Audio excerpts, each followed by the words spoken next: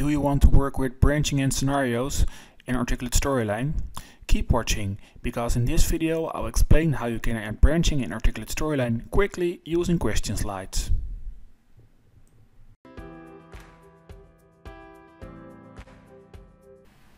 Hey, I'm Mark from Upward Online Learning, where I teach you how you can create e-learning modules in Articulate Storyline yourself. And are you new here? Don't forget to click the subscribe button so you don't miss a video. Ready? Let's go to work.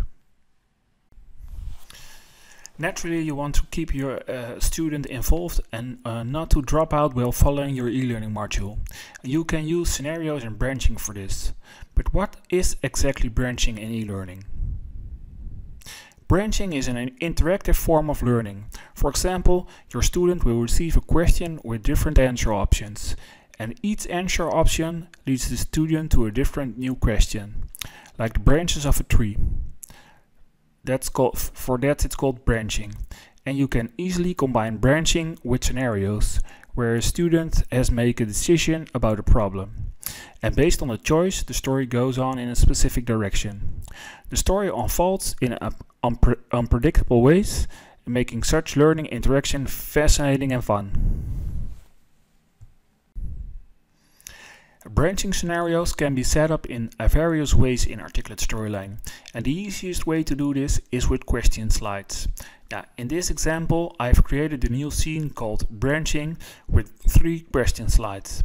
And it does not matter whether you use graded question slides or free-form question slides here. You can use either one of, the, of them.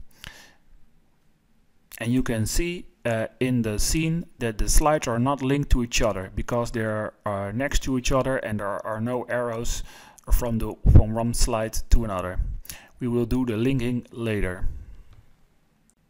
And when I'll go back to the story view, I will uh, save this one.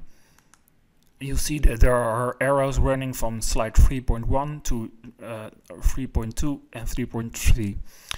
Uh, and the trigger to jump uh, from slide 1 to, to slide 2 and to slide 3 is on the continuous button in the feedback pop-up. So select slide 3.1 and open my uh, feedback pop-up and here you see the continue button and when I when I select it you see that there's a, a an action when the timeline ends that says jump to 3.2 multiple choice.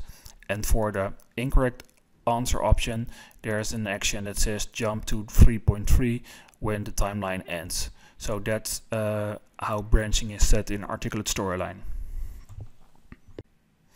In the previous example, you saw that there were uh, two branches, one on the correct and one on the incorrect feedback, going to different slides.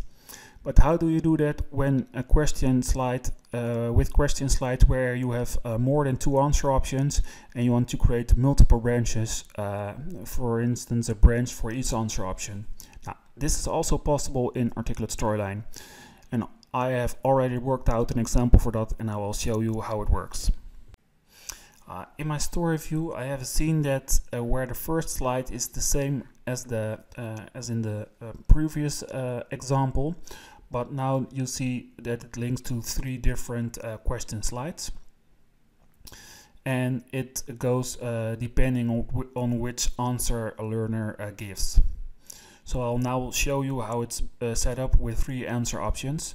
Um, I will click on slide 4.1 and I will go to the form view and now you see uh, here uh, at the top that feedback is by choice and not by question so now I have I don't have a correct and incorrect feedback but I have a feedback that is uh, for answer option A B and C.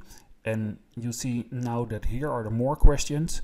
So if I click on more here I can say branch to the following. So for uh, answer option A it's 4.2 for B 4.3 and for 4 4.4 so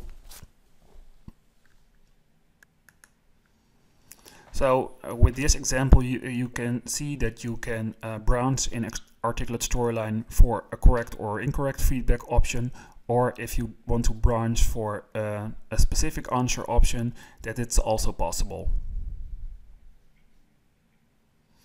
And this was quick basics on how you can quickly um, set up branching with question slides in Articulate Storyline.